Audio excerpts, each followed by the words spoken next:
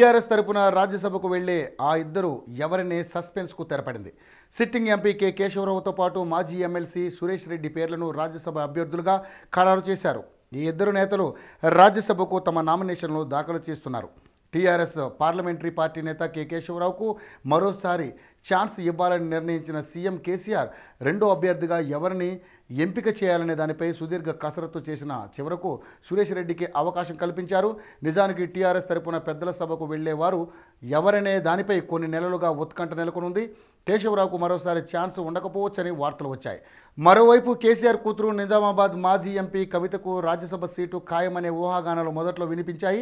అయితే కవితను పరోక్ష ఎన్నికల ద్వారా చట్టసభలకు పంపించే యోచనలో కేసీఆర్ లేరని అందుకే ఆమెకు రాజ్యసభ ఛాన్స్ ఉండదనే ప్రచారం జరిగింది. సామాజిక సమీకరణాలు జాతీయ స్థాయిలో రాజకీయ అవసరాలను దృష్టిలో పెట్టుకుని కేసీఆర్ రాజ్యసభ అభ్యర్థులను ఎంపిక చేశారని పార్టీ వర్గాలు తెలిపాయి.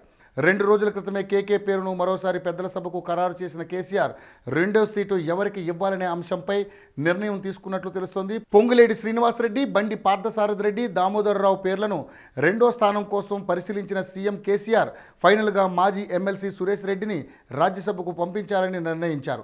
తెలంగాణ కోటాలో ఏడు రాజ్యసభ స్థానాలుండగా ప్రస్తుతం ఐదు స్థానాలు టీఆర్ఎస్ ఖాతాలో ఉన్నాయి. ఒకటి కాంగ్రెస్ మరొకటి టీడీపీ ఖాతాలో ఉన్నాయి.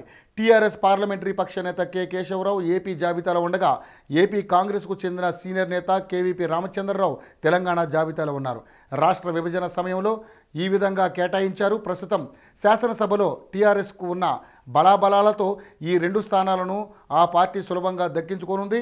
రాజ్యసభ స్థానం కోసం మాజీ ఎంపీ పొంగులేటి శ్రీనివాసరెడ్డి తీవ్రంగా ప్రయత్నించారు.